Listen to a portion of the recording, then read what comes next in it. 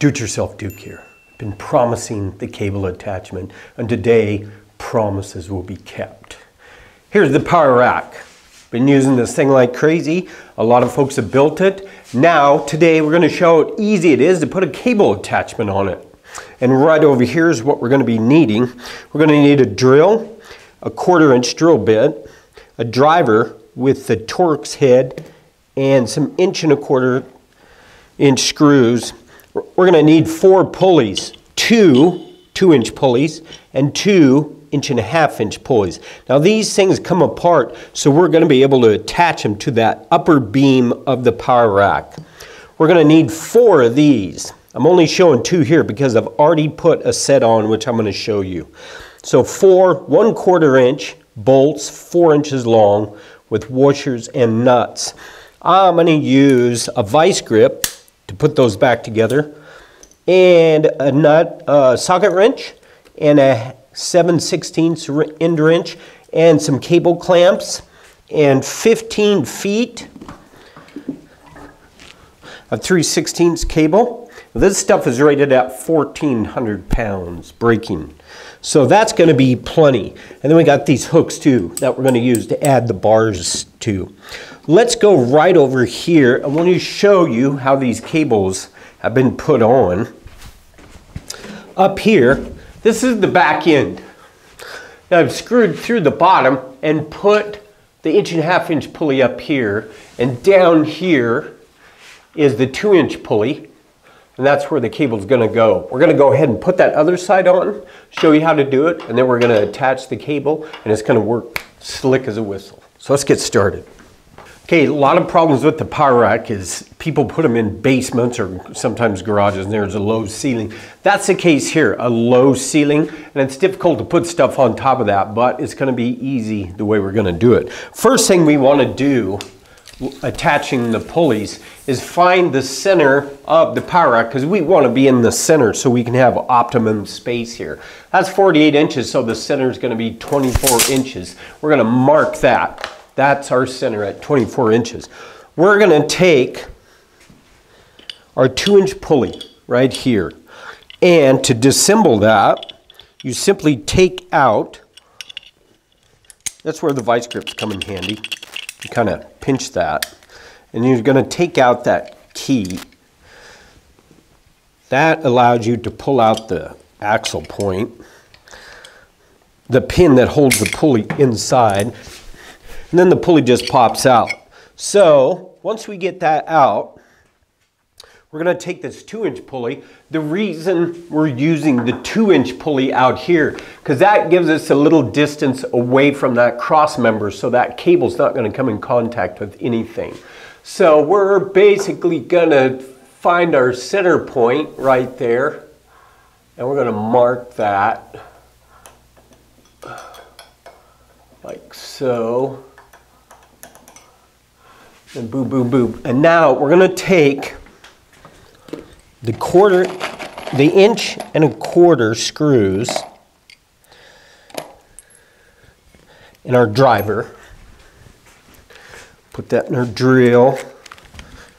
And then we're just going to attach this pulley apparatus. These are going to be fine to hold this in place because most of the weight you're going to be using on your lat pulls or your tricep pushdowns is a downward motion. That's where the top pulley comes into play, and that's why we have a top pulley, because all the weight and pressure will be on these big beams, and they're gonna support a lot.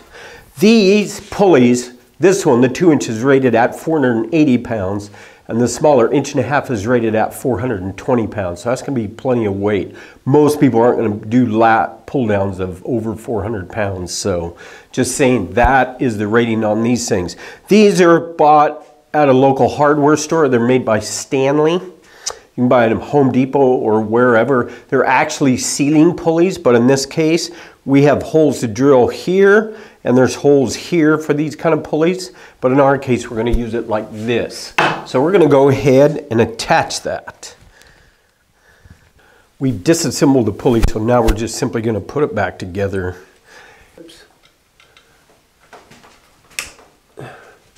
Then you'll be able to put this key back in like so. And there you go. That gives a compression there. And there's the first pulley. Now the second one is a little more challenging.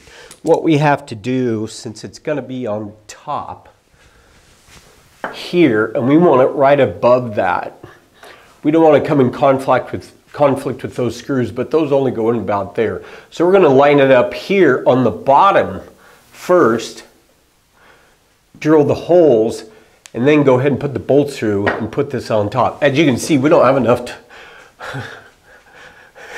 we don't have enough room to work up there because somebody put a ceiling too low. It wasn't me, by the way, but so we'll go ahead and put that up there, the pulley in there, and man, we're almost home free. The first, the first part of the cable attachments. So we got the markings. We're going to go ahead and use our quarter inch drill bit on our drill and try to get as straight as we can.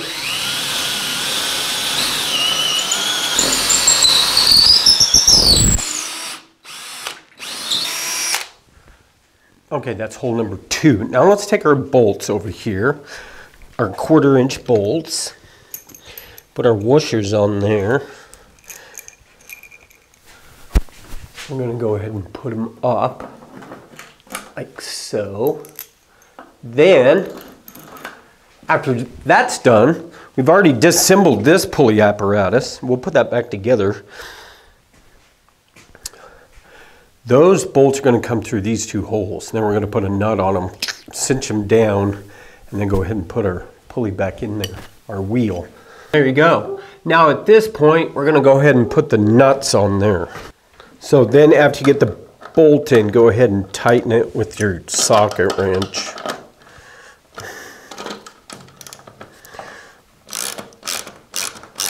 So we're gonna put our little wheel in there.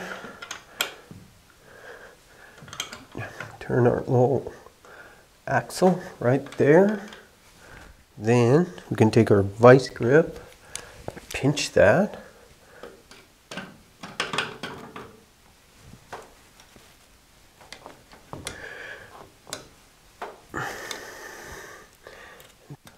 Okay. So we're going to add a couple items to the pulley. They're just an inch and a half, quarter inch bolt, and a nut. What that's going to do is just keep that cable from flipping around. The thing is, once, once the weight's on there, it's gonna it's gonna be pulling against the cables anyway. But when you take the weight off, say you won't want to have you won't uh, want to have to put the cable back on the pulley every time. So this will just keep the the pulley from falling off of there. I'll put one here, and it's kind of cool because there's accommodation for it. It wasn't meant for these; it was meant for attaching it to a ceiling, but you know, DIY Duke in his innovative mind came up with it himself. Probably it. So, go ahead and put the one on the top also. And that'll just keep there the cable in place. Simple. Of course, you'll need four one quarter inch, inch and a half bolts with four nuts to complete that guide. So our next step is to go ahead and pull our cables around. We're going to put this through there, which doesn't have to be through there. It has a, a nice opening. But the cable will end up going like this. We're going to use three of these on each side. These are 5 16 inch cable clamps. That's what's going to keep this cable together. It's always recommended to use three of these. You've probably seen those videos where a guy's doing an exercise on YouTube and something breaks and it, yeah, that's not gonna happen with us. A little time has passed since I started this project. As you can see, no goatee and no awesome pork chops. Had to, I got a movie role coming up and I'm gonna look good for that. So back to this business, we're gonna put this last one on and to some of the adjustments I made, you know, kind of trial and error. This cable I mentioned was 15 feet. It's gonna be 14 feet because that's going to give us the proper length there. I was a little foot long on that and I changed that and I did a couple of other improvements I'll show you as well. So that will be seen in the updated description list. Those things that showed in the beginning of the video, you're going to need those, but we're going to add a few things as well. What's really cool, when we get this all put together, we're going to take our dip bar pipe that we use for a dip bar video.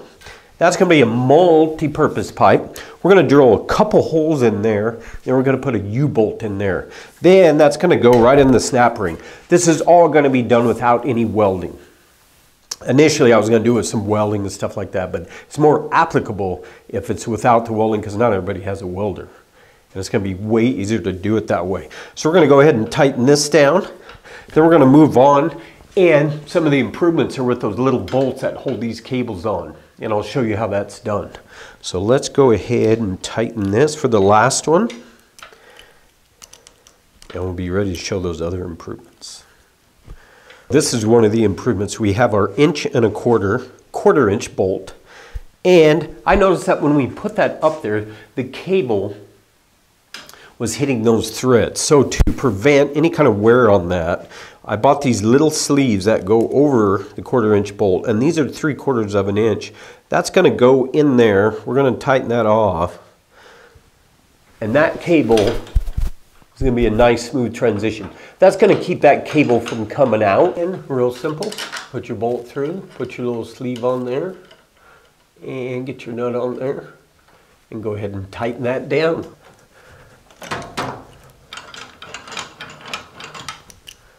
Beautiful. How do we attach the weights to the other end? Really simple.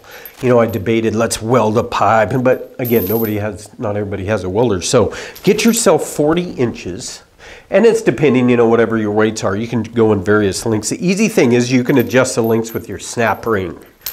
By doing it this way, I'll demonstrate that. You got 40 inches of a quarter inch chain. That's going to be plenty strong enough. So we took our 40 inches of chain and went ahead and hooked it to the cable end and the chain in it. and we adjusted it for length for this 45 pound plate. Again, the simplicity of it is great because you can add weight and, and there's enough chain where you can expand the chain and make it long enough. And then what that did is made our cable shorter and we're just going to put this here. And we're going to come down here. You know, you can lay it there when you start your exercise, you're going to be in this position and you're going to be able to do whatever exercise you want to do as far as this cable, single cable's concerned, like a tricep push down or behind the neck or lat pull. Now we need one more item to complete this project, and that's a piece of three quarter inch pipe, which again is from our dip bar. We're going to take that, drill a couple holes. That's really not going to hurt the integrity of this that much. The holes aren't going to be that big. And that's going to allow us to have like a lat pull behind the neck, in front. We'll be able to get down we'll be able to do all sorts of things, and that, that's going to be really versatile. So let's go ahead, find the center of this, drill a couple holes, then, and then we're going to take a U-bolt, this is 7 16ths, drill a couple holes in that, put that through, bolt it down, and then we're going to have a place for that hook to go to. And that's going to attach our pipe. And then we can take that loose, again use it for the, our dip bars or whatever. So let's go ahead and drill those holes. Okay, we've got our three quarter inch pipe, which by the way, this particular pipe is about four feet long. We're gonna find the center. We're gonna go ahead and mark that. And then we're gonna take our U-bolt. I'm just gonna use a Sharpie and mark that in the center. Okay, all done. There's our two points there. Now we're going to take a metal punch. This is going to make it easier for that drill bit to center on those. So take your metal punch, grab yourself a hammer, find the center of that, whack it, and there you go. We're ready to drill those while we're here, just happen to have these things. If over time your pulleys wear out, you don't have to replace the whole things. They sell, like this is the inch and a half for the inch and a half pulley sheave. Really simple. You just pull that key out, pull that axle part out and put a whole new wheel on for like four bucks. I mean, they'll last for a long, long time, but say down the road, you start seeing some wear on there or they start kind of not rolling as well because it, this pulley's getting wore out. That's a vinyl covered cable, so it's gonna slide really easy. You can even spray some silicone on there too. That's gonna make some, some really good uh, frictionless movement there. And a can of silicone will look something like this. This is Napa variety. Just spray a little bit of silicone on those those areas where the pulley is. That's going to make it a lot nicer, more fluid movement. So we've got this done. We're going to go ahead and take this. In this case, we're going to use a little drill press and drill that. Okay, I'm going to use a little drill press. You can use a, a hand drill too as well. So I'm going to start with a smaller drill bit and then work my way up to the, the larger drill bit. So let's go ahead and drill this thing.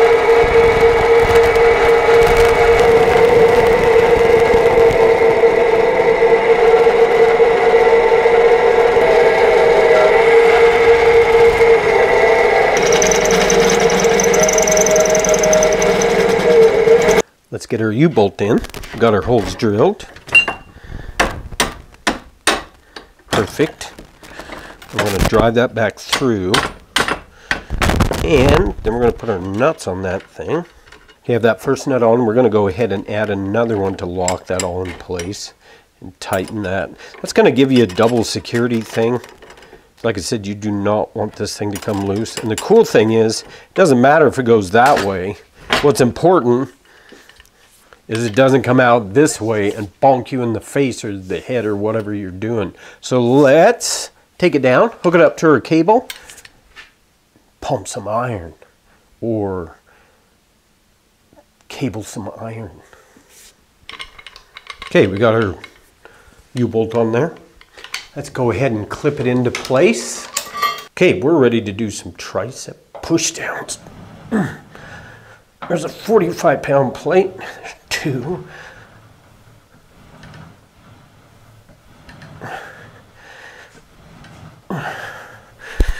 Oh yeah, that's feeling like working the tricep.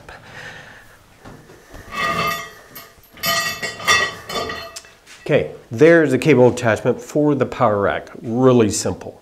Rudimentary, yes, but simple, you'll have to admit.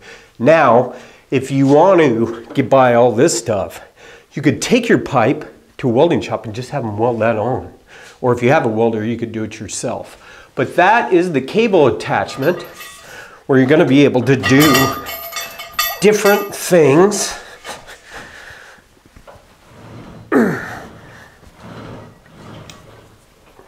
like lat pulls. Oh yeah. And the more weight you put on it, the stronger you're going to get. And remember, you can gently put your weight down and feel confident that this cable's not going to break. And those cable clamps aren't going to come loose. That's 1,400 pounds. I don't know. Maybe I'll get there someday, but it's going to take a while. Do it yourself, Duke. Until next time, stay buff.